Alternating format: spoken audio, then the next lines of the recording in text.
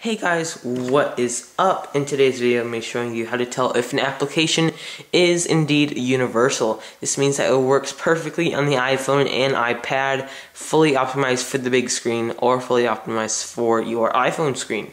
So let's go ahead and dive on in. So let's go ahead and open up the top page. Let's go ahead and scroll down I need to find an application that actually is iPad optimized and it's actually easy. There we go. We've got two apps right here, Pimp Your Screen and TuneIn Radio Pro. Um, as you can see, they do have these little plus signs. That means, like I said, it works on the iPad as well.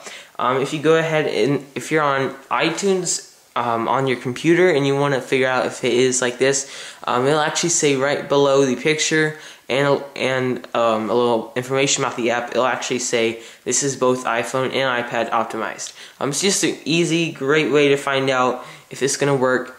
Um, so if you're gonna buy it for your iPhone now, it'll work on your iPad. Um, personally, it's been extremely helpful as um, I'm getting my iPad very soon at least hopefully. And um, I've been downloading apps like crazy for it. So guys, thanks for watching. Also, please go ahead and check out my giveaway going on right now. Uh, you can win an Apple t-shirt that is ending very soon. So please click the link in the description. And I will catch you guys later. See ya.